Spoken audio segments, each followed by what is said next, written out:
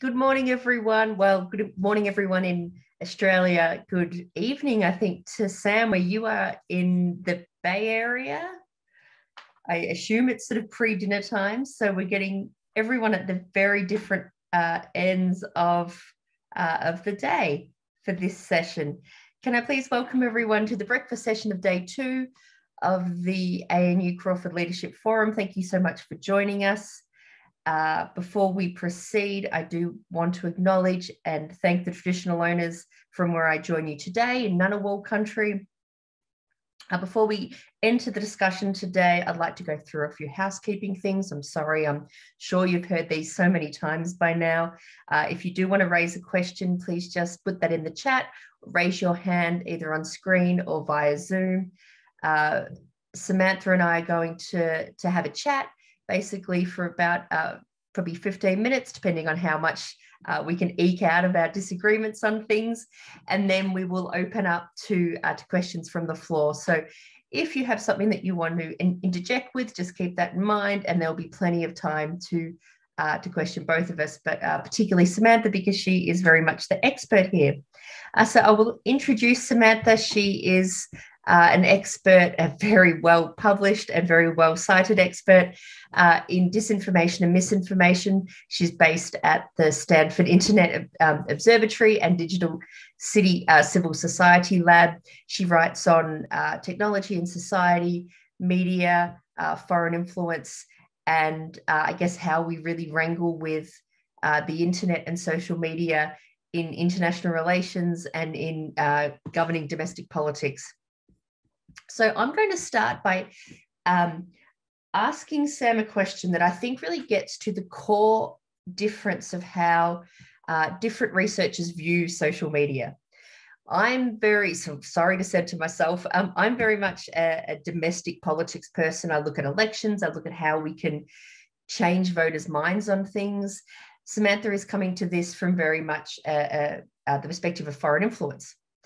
So, from my perspective, social media doesn't matter, right? People, uh, people have their political views and their political preferences formed so young that jumping onto Twitter or jumping onto Facebook shouldn't matter. That's the very sort of conservative domestic politics view. But Samantha, convince me why social media matters. Yeah, and uh, Jill, thank you so much for that introduction. And hi, good morning, everyone in Australia. Um, yeah, it is uh, a little before dinner here, so hopefully you don't hear my tummy grumbling through through the microphone. Um, uh, that's such a such a great kind of question to kick us off is like what is actually new and important here about social media because you know jill i think you pointed out like people consume a wide variety of information from so many different sources we're influenced by our friends uh, we're influenced by our families and you know our political ideologies aren't something that you know we read one piece of news and all of a sudden we've changed our mind on an entire like contentious issue. It's something that happens slowly over time uh, if at all. Um, and so yeah this is kind of really uh, the million dollar question here is like what's actually new about social media and is social media uh, has it disrupted our information landscape our interpersonal relations enough to kind of affect these growing trends in polarization? Um, and so there's a number of different um, theories and arguments out there around uh, the effect that social media can have on polarization. Um, the first, um, some of you might have heard of this term before, has to do with filter bubbles. Um, and so that's the idea that social media algorithms themselves, they're reinforcing a particular point of view because we know that algorithms tend to personalize content and they personalize content based on people's data um, which will collect all kinds of information about like our political preferences um, our various interests interests and make big big inferences about who we are as people and who we are as voters. And then the algorithms will feed in um, that content that already pits our preferences to our news feeds. So we're continuously seeing, you know, either right-leaning or left-leaning content. That's kind of like the first theory around the way that social media might um, influence polarization. Because if you're only seeing content politically left or politically right. Um, you won't be exposed to those diverse viewpoints that help make democracy work and might, you know, challenge your own kind of biases and whatnot. Um, the second theory um, is that it's not actually the algorithms, but it's the way that social media structures group interactions. Um, and so this is the theory around echo chambers, where I'm going to, I already have a group of friends that are particularly, you know, politically leaning one way or another. I'm going to follow those people. I'm going to interact with them. And um, I'm going to stay in this echo chamber where I'm not necessarily being exposed to other kinds of people with diverse views around politics, and therefore um, will polarize society that way because people are self-selecting into various groups. Um, and then the third kind of theory um, around social media and polarization has to do sort of again related to the algorithms, but the way that they promote certain kinds of content over others, not necessarily political, but um, this really has to do with the different kinds of polarization that we're, we're talking about as well, because there's ideological polarization, which has to do with, um, you know, we can't agree on political ideologies. And then there's affective polarization, which is the idea that I you know, as one political ideology, don't like you as a person. Um, who has a different political ideology than me. And so that's affective polarization. Um, and this is where attention economics kind of come into play because algorithms might promote negative content, they might uh, promote conspiratorial content. They might promote content that um, is like very rumorous or slanderous, and that stuff tends to go viral and very far on social media. And so we're constantly being exposed to the other side um, or people who are do not share our same political values as you know being negative and being bad. Affective polarization might therefore increase. And so those are kind of three theories and to be honest, Jill, I think a lot of the literature is very kind of, uh, all, there are studies that will show both sides for all of these right. things. We don't necessarily have good answers as to, you know, this is exactly, you know, social media for sure is promoting echo chambers or is for sure promoting filter bubbles or is for sure, you know, feeding us this negative kind of content through attention economics that is leading directly to polarization. But these are kind of like the three theories that people tend to point to when we're thinking about, hey, what's actually new here about social media and how could this be changing how uh, we view other political ideologies and how we view uh, others. Let's talk a little bit more about affective polarization because I didn't know you were going to bring that up. And I love the theory of affective polarization. Well, I hate it from a democratic sense, but it's probably something that a lot of um, the audience hasn't really come across because it's a little bit inside baseball still. And it's this idea that we have a sense of identity about the, the party that we like or the, the social group that we identify with. So um, you know, I'm an academic and I'm a cricket fan and I live in Canberra, and all of these things make up my identity. But affective polarization is a little bit more embittered, it's a little bit more angry, and it taps into this idea that we don't just like our in group, but we often hate the out group. And while this can sound really kind of aggressive and confronting, it's not always it's not always so much the case. Uh, it might just be that as much as I like to see my party win at an election, I also kind of like to see another party lose.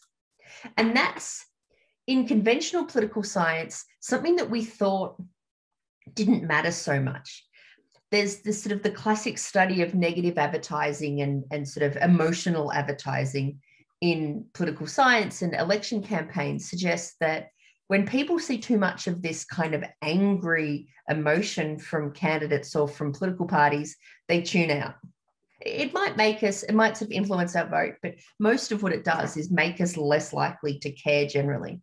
But something about algorithms and social media feeds off this, right? And, and so you mentioned this in your last point, because I think this is one area where we can instinctively get the feel that social media does matter. We do see angrier content and we do see this more affective with an A um, content more than we see boring kind of long form headlines, you know. Um, explainers or think pieces about um, Afghanistan, for instance. So, what what role does the do the platforms have here? You know, are they are they really to blame in pushing this viral, clickbaity, affective kind of content? Yeah. So, you know, I I think it is definitely, you know, we can think of the the new role of technology here and the role of the algorithms, um, because for sure, 100% they are playing a role. At the end of the day, social media companies are businesses, and they are businesses that are built on attention economics and surveillance capitalism, where you take a whole bunch of data about people, uh, you feed it into your algorithm so that their people's attention stay on their screen longer. So you're constantly scrolling on your phone. Um, and that time um, in that time, you can deliver advertisements to them or sell users' data to other parties who want to advertise um, to, to various users across the platforms. And so there is an actual economic incentive for this kind of content to go viral. Um, that being said, it's also because we as people tend to like this content. Um, you know, people do, like there are lots of studies out there that show that emotional content tends to go much further um, and much farther on the internet than plain old facts. Um, and you know, this doesn't always necessarily have to be negative emotions. Like if we think of cat videos or those like cute animal videos, like that's why they tend to get shared online a lot because they elicit a positive emotional response in people, and then people will there go go on and share that kind of content. But negative emotions tend to have a much stronger effect on people, and so that's why they'll often go farther than some of the happier content that we see online. So, you know, part of it is for sure the social media platforms and you know i don't want to kind of like absolve them of their like role in really um, promoting this kind of content but you also can't take the human factor out of it as well so you mentioned facts there and that gets us to our next point can you explain the difference between disinformation and misinformation? Because again, this is very inside baseball, but something that we get hung up on in the discipline. Um, and again, sort of bring it back to the role of, of platforms here in in you, uh, I guess helping us to parse disinformation and misinformation as you know as humble kind of audiences. Yeah. So um, typically in the literature or, you know, in general, when we're thinking about misinformation, um, we're thinking about content that um, might be spread online that people might not necessarily know is false. Um, so there's like a question of intent behind the different uh, definitions of misinformation and disinformation. Misinformation, there's kind of like no ill intent to misinform people by sharing this kind of content, whereas disinformation, there is some kind of intent to misinform people. And so we tend to talk about disinformation in the context of influence, foreign influence operations online, because you know you have a state-backed actor that is purposefully injecting certain kinds of false information um, into the social media ecosystem and trying to get other people then to pick that up and share it maybe as misinformation because they might not realize that it's actually true. And so it can kind of like change depending on the actual intent of the person. Uh, it makes it like really tricky definitely definitionally because you know intent is something that's really really hard to measure. Mm-hmm. Um, but usually when we're talking about those two different terms, we're thinking really about like the intent behind the sender of the message so and again you mentioned um, so you mentioned state actors there right? So we're, we're escalating very quickly from from me sending around a meme that is a little bit wrong to you know to russia trying to meddle with our elections. And i guess this is this is a, again a, a huge definitional problem when we're talking about this stuff because we are talking about a, an enormous range of actors. And while you know attention may focus on russia and, and trump and whatever but a lot of this is sort of happening down low. And that's, I guess, you know, the the kind of the, the feeling for a lot of us, I think, that the horse has bolted. So how can I stop my auntie on Facebook from sharing anti-vax memes, but at the same time, you know, be worried about um, election integrity in um, in Afghanistan, for instance, you know, or or some kind of um, state versus state you know conflict that's happening via Facebook. How does how does Facebook grapple with that as a company? Yeah, and you know, I think this is such a hard question where we constantly see the platforms really struggling to, um, you know, implement any kind of meaningful change to their algorithms, to their business models, to their systems, because it is a hard question. And you know, whenever we're dealing with anything that has to do with speech, there's a lot of interpretation. There's mm-hmm. a lot of gray area, um, and then we're not only working in one language, but you know, Facebook is a global company with you know billion users that are not only speaking English, but are speaking a lot of very localized dialects that are going to have different you know terms for hate speech and um, so on and so forth. And so moderating all of that at scale is a huge undertaking um, that's full of all kinds of trade-offs. Um, so um, in terms of you know what the platforms can actually do about it it's it's a very difficult question. And you know i think a lot of um, when we're thinking about mis and disinformation in particular which so often can feed into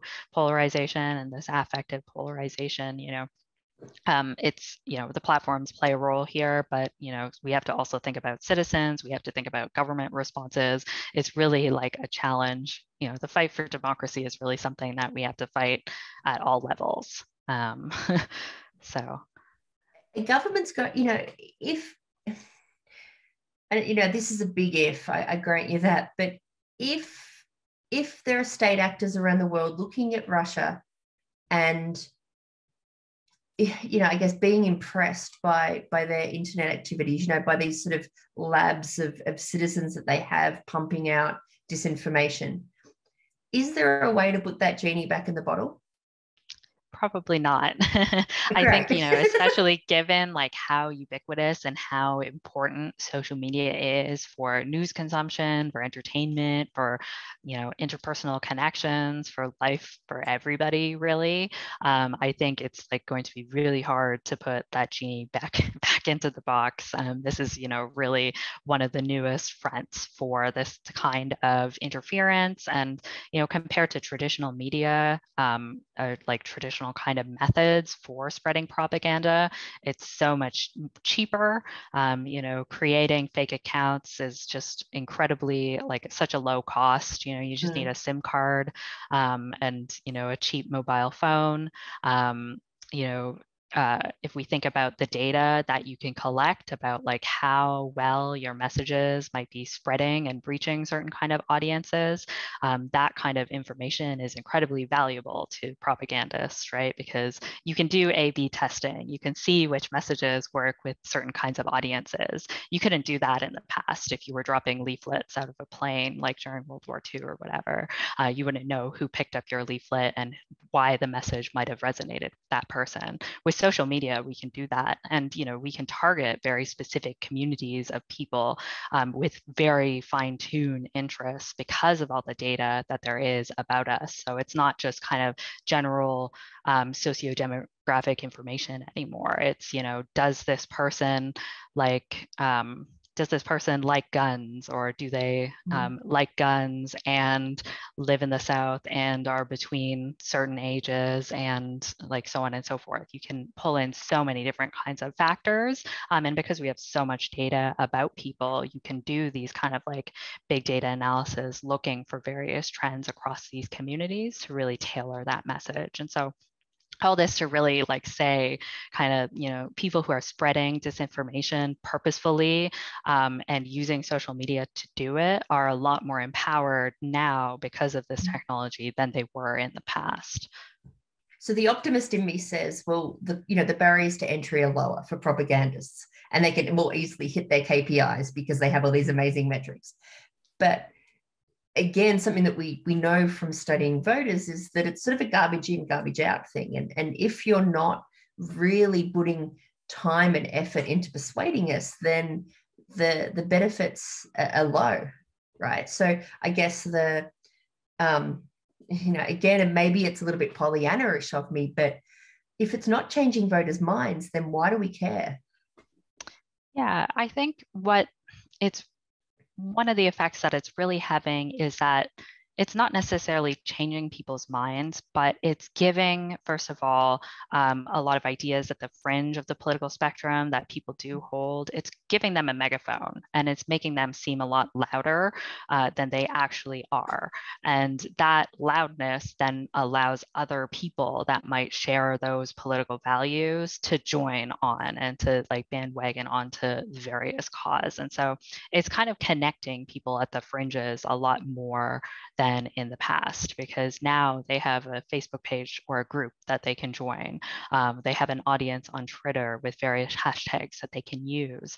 Um, and so yeah not only like allowing these people to kind of come together at the fringes but then amplifying that kind of back into the mainstream and then mainstream media um, and others will often pick up these narratives um, and share them people will share them you know we kind of talked about this earlier because if something is kind of conspiratorial or room, like a rumor. Um, people like that kind of content. And so it's very much like a vicious cycle, I think. And so even though it might not necessarily be changing people's minds immediately, I think, you know, the slow day to day effects that seeing this kind of content over and over um, and increasingly having these fringe ideas amplified can slowly start to widen that divide between people. So I have a question in the chat that touches on that idea of how social media brings people together, but can also sort of drive a, a, um, a wedge, I guess, between different groups. And, and that gets us back again, I think, to this idea of affective polarization, because in groups and out groups do matter. So the question is from Sandra, and she asked, you know, what do you think about linking polarization in the long observed reduction in social cohesion or, or what we might call social capital in the sort of Putnam um, concept like conceptualization and bowling alone and how we're sort of you know we're atomizing as a society um, in other words, social media provides a platform for social cohesion when social cohesion expressed by active involvement in community groups is reduced or broken down. But it also permits an intensity and focus because of the way that users are served content, which is exactly the point that you were just making. You know, we'd be remiss to, to talk about social media today and not you know, not touch on the fact that we're all here via Zoom, that Samantha's here from San Francisco, the rest of us are here from our lockdown houses in Australia. There is something about the social media, about social media and, and these platforms and the way that it does bring people together. Yeah, definitely. And I usually like to cite the Putnam article "Bowling Alone" as you know. We all do, right? Yeah, yeah. why we like to, you know, and also like thinking about these trends more broadly than just social media. That, but you know, polarization is something that has been happening before the internet and before mobile phones. Um, we've had these kinds of growing trends, um, but social media can amplify a lot of these um, features just because of its various affordability affordances, the way that it like networks people and can bring like-minded people together to opt into their groups. Okay, so you just mentioned affordances, which uh, is something that I only really learnt about in the last couple of years. And it's this idea that for some of us, social media is easy. You know, we we have the skills, we have that we can jump online, we know how to download an app, we know how to um, to speak in the kind of way that that social media um, you know fosters and, and, that to to enter debates online that um, you know that can create social capital or social cohesion. Can you touch on affordances and and how they're sort of differently distributed um, across platforms and i guess how the different platforms sort of lend themselves to different types of um, of social cohesion yeah, definitely. So, um, yeah, so I'll take kind of like the three biggest ones, I think. Um, I'll do Twitter, uh, we can do Facebook, and we can do YouTube, and yeah, we'll throw TikTok in there too, because they kind of all overlap in in various ways. Um, so you know, when we're thinking about like Twitter and social cohesion and affordances, the way that, for example, the news feed and hashtags are structured, um, people can join certain group conversations using various hashtags um, that organize topics and conversations pretty much that are happening on Twitter together. And so that's one way that we tend to see some social cohesion happening. Because Twitter is very open and hashtags are very like can be read and viewed by everybody.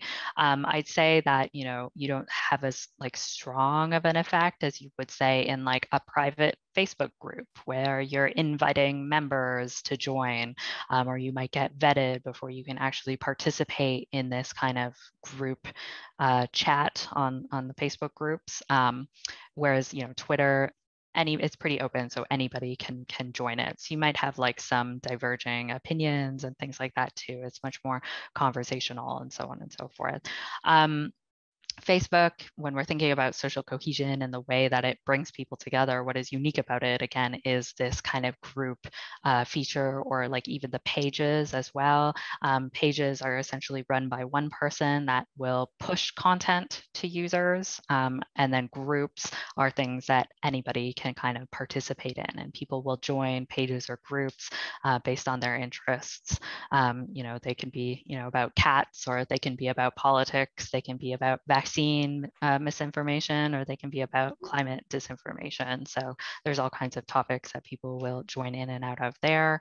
Um, there's TikTok is a really interesting platform because um, it's out the way i don't know how many people are on tiktok um, that are on this call but um, it's kind of you know we tend to think about tiktok as like one of the new forums for disinformation and all this kind of stuff especially because it reaches a lot of younger generations. The content is very viral um, and it's not as it's kind of a new new kid on the block so they don't have a lot of the same kind of like practices um, that a lot of other social media companies have and capacity as well. Um, so we tend to think of this as being, you know, some of the new fronts. Um, and TikTok's algorithm will essentially, you know, you just scroll through constantly, seeing a different videos. It's organized by hashtags the same way that uh, that Twitter is, but it's less kind of group groupy and more based on um, tailoring content to particular users. And so you kind of get social cohesion in the sense that you are targeted as being a person that you know might like dog content and therefore all you're going to get is dog content. Um, we actually see a lot of news organizations and even like state-backed media um, like russian state-backed media creating accounts on tiktok and creating this kind of um, fun video content that will introduce children or teens to like what's going on in Syria. Um, and so there can be like political angles and stuff like that on TikTok content as well. Um, so very interesting, fascinating space. I'm kind of rambling right now, but the point oh, is that fascinating and terrifying. Whenever I wander onto TikTok, it feels like the Wild West. And so I'm part of me feels like relieved that it's not just you know me approaching 40 but on the other hand that feels like it's you know like it's going to foment a lot of uh, potential polarization in kids. Yeah I, you know i think i was just like kind of scrolling through some of the channels like content earlier um, and it's just so fascinating because it is kind of like very intro 101 fun content that's very much done in the way um, of other content that is appealing to younger generations, uh, very catchy, um, and you know it's it's it's just really interesting how they're like framing a lot of this disinformation to newer generations and this is the stuff that will you know when pe- people are young they're still forming their political identities in various ways and so um, it's, it's just a fascinating phenomenon and something an area that needs a lot more research. This is great as the parent of a 14 year old i'm i'm not at all uh, not at all relieved by, by learning about this, Sam. Uh, now, I would be a very terrible employee if I didn't uh, read uh, my boss's, uh, the Vice Chancellor is here, my boss's comments in the chat. Uh, Brian says that from his vantage point, the internet has disintermediated the curation of information and knowledge.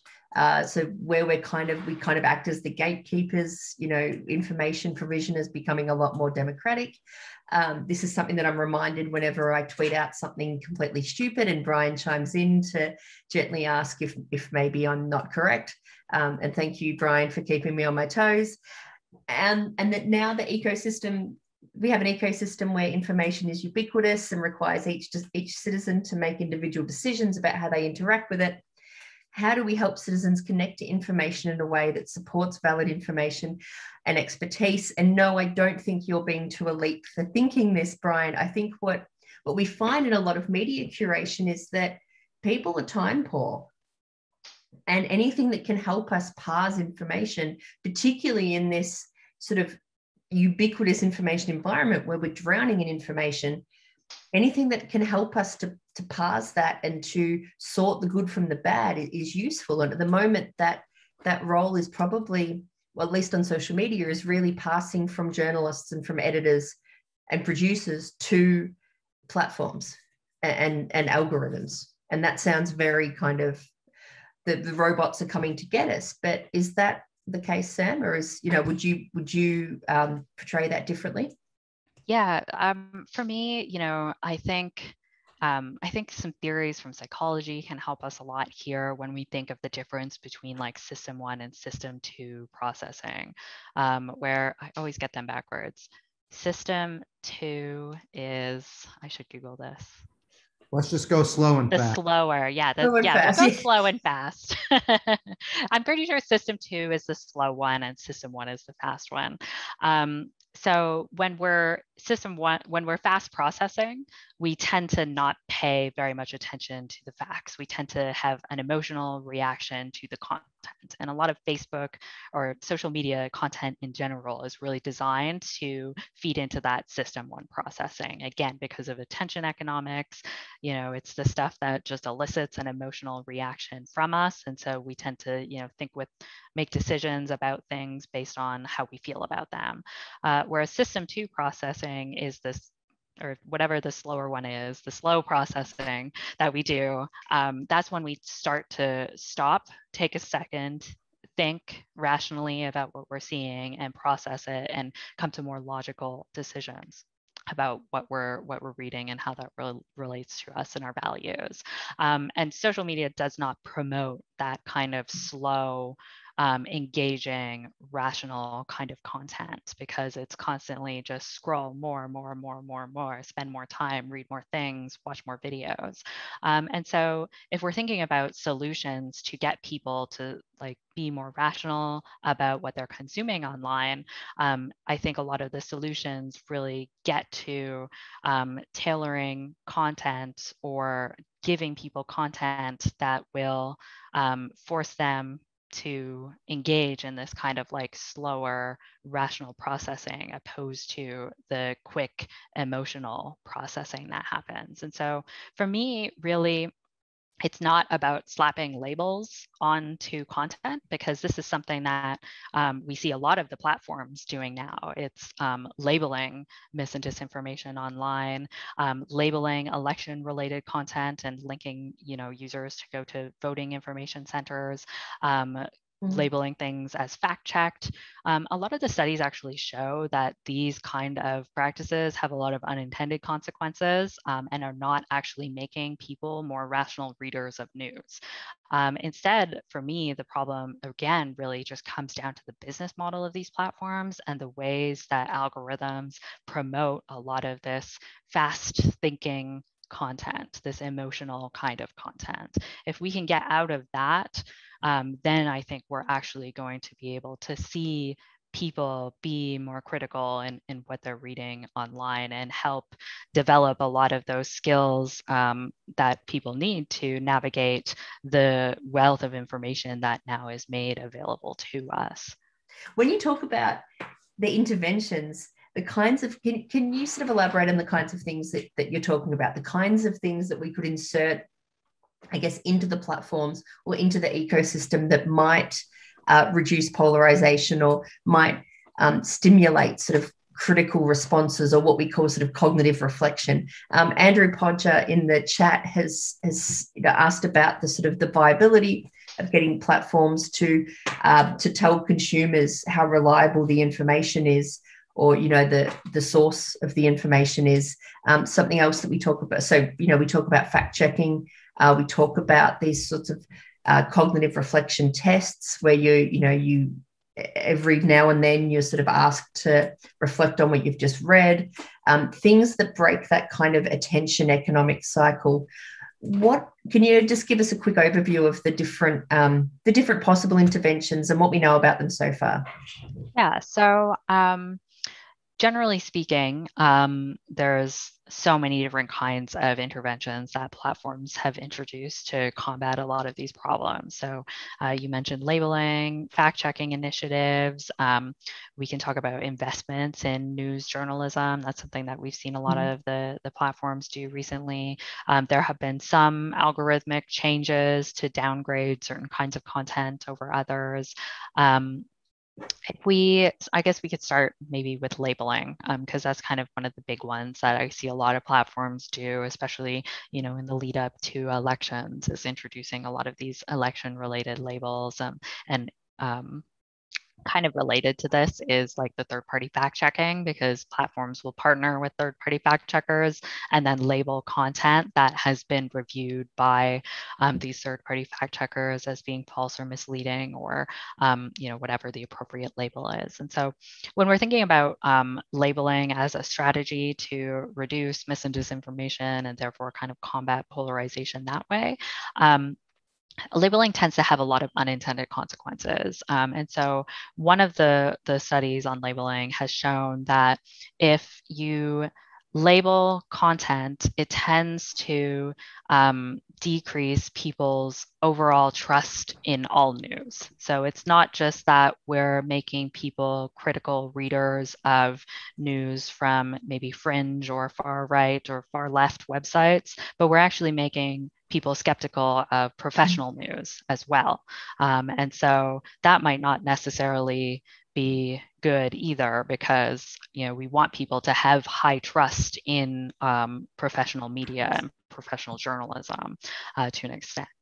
Um, labeling can also um, if everything is labeled, but a piece of mis or disinformation makes it through unlabeled, um, that can also have mm. a negative consequence because people, it's called, um, researchers who did the study call it the implied truth effect, where content that is false but unlabeled is sort of trusted as being true. And so if platforms just mislabel something, they miss a piece of content that's going through their automated filters, um, people might interpret that mis or disinformation as actually being true because it's not labeled. Um, the one area where labeling does help is that um, if users are given a prompt that something has been like fact checked as false um, or as misleading, they might not actually share it. Um, and so that's one of the positive sides of, of these labeling kind of studies is that we can actually reduce the amount of sharing of mis and disinformation by labeling content. But you know, we have to kind of think about some of these unintended consequences as well uh, when it comes to the, the labeling practices. Um, and you know and so i think you know fact checking kind of goes in hand in hand with a lot of those responses. For me i think the most promising um, things that we've seen platforms do um, and do relatively well that I think you know they could do more of um, has to do with like investments in news and journalism. Um, for example, removing paywalls for people who want to access local news. Um, I think that's a really great um, initiative because you know one thing about the internet too is that it's made information free and mm. nobody wants to pay for uh, news anymore if you can just find something else online for free. Um, but newsrooms uh, need that kind of subscription, they need that paywall to help fund a lot of their work. We can't just completely cut off their modes of financing, right? And so by platforms kind of covering the paywalls or like the, the some of the um, paywall costs for users to access that content, that's something that is positive and can help educate users because now they're not going to, if they click on an article that they want to read, they don't have to worry about the paywall anymore. They can actually just read and access that professional produced information. Um, the other area that I think they can do more in, again, has to do with the the algorithms because um, they've you know made several attempts at you know tweaking their algorithms to maybe not share as much political content in news feeds in the lead up to elections. But then you know the question is how do you define political and mm. I, there's just so much stuff kind of around you know, the way that this negative viral content uh, tends to spread that I think platforms really need to do more in, but they're just disincentivized not to because it's their business model. Thank you so much, Samantha, for for being here. Uh, thank you for coming. You know. Uh, for our breakfast and your pre dinner. Uh, thank you so much, everyone who's attended. Thank you to the Crawford School and to the ANU for putting this on. Um, if you have any more questions that you want to ask, um, Samantha. I'm sure you can, uh, yeah, get in touch with her either on Twitter or via email. Uh, stalk her on Facebook. Um, don't stalk her on Facebook. Um, if you want to get in touch with me, um, I don't know why you would, but I'm very easy to find. Um, we will let everyone go and have their breakfast now. Thank you so much. And we'll see you for the final panels in the Leadership Forum this morning.